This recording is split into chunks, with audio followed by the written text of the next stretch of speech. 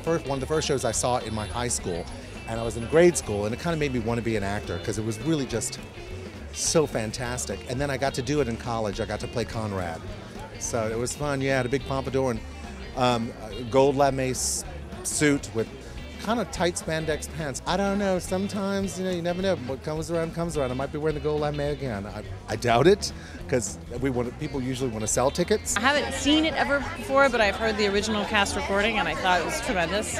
And it's such a talented group of people.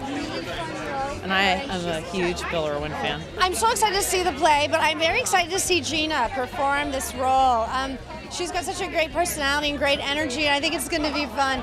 Um, she's she's quite a force to be reckoned with. So to see her take this on will be great. And John, you know, it's nothing wrong with watching him, right? John is a pro. He's been on ER. He's been on Full House. The guy was Blackie on uh, General, General Hospital. Hospital. You're talking about a professional. This is nothing for him. This is easy. And if he bombs, I'll run up on stage and take over. No problem. He won't bomb. He'll be great.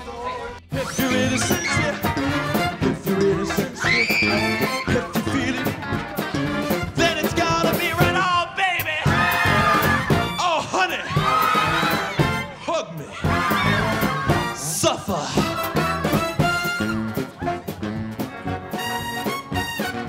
You gotta be sincere. Oh, oh, you gotta feel it here. My baby. It's the opening night of Bye Bye Birdie on Broadway. Yay! After 50 years, who'd have thunk it? Charles Strouse wrote these tunes that are indelible. I can't get them out of my head. You know, when I go home from work, they're still playing. Everyone you meet, like half of our stagehands, have been in the musical at some point. Big burly guys, that was Hugo Peterson. Um, Uh, it's a mu- it's maybe in some ways the American musical. So many people are excited to see it again after all these years, and young people are discovering it for the first time and they think it's very cool. Lee Adams and Mike Stewart, Mike particularly, who, who passed away, uh, wrote the most clever book, and uh, we had so much trouble getting it uh, on. Nobody uh, was at all interested in it. That audiences today like it, and they seem to very much, is terribly gratifying to me. It turned out the way that I hoped it would, which is a happy, optimistic, positive show, which is what we need in this world right now. You know, um, kids. I look out in the audience. I see these four-year-old kids. I see 90-year-old people. It's it's it's a it's a rarity. This show. You know, Race skies are gonna clear up. Put on a happy face. Brush off the clouds and cheer up. Put on a happy face. Take off the gloomy mask of tragedy. It's not your style. You look so good that you'll be glad you decided to smile.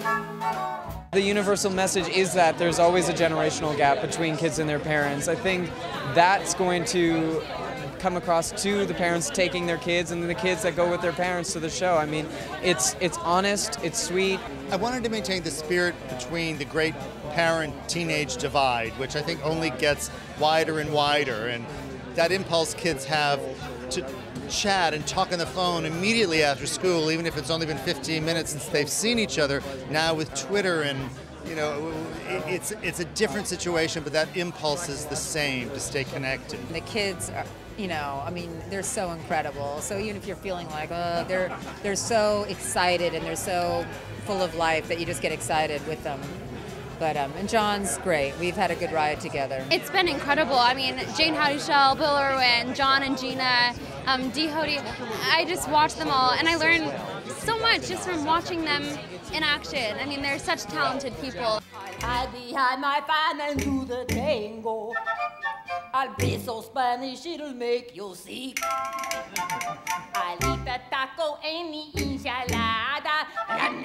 I'll drink tequila till I feel no pain. Oh, the only song I sing will be Granada.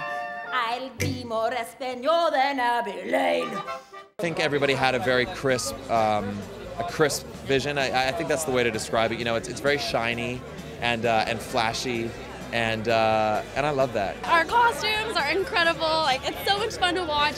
It makes me it makes me want to like restart the 50s big poofy dress trend kind of. Like it'd be cool to walk around Times Square and have everyone wearing giant orange dresses. It's a heart show. I mean, you, it, it, it, to me, it bypasses the brand and goes to the heart. You know, it, it's a slice of Americana. It's um, it's happy. It's it's uh, it's just good. You know. I think it has something for everyone.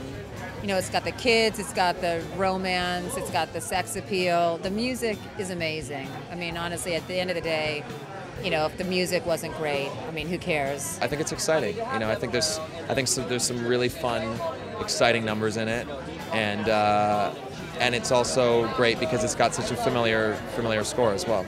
I hope they will go home having laughed a lot, and having been glad to hear these tunes and being ready to come back again because uh, we'll take repeat business.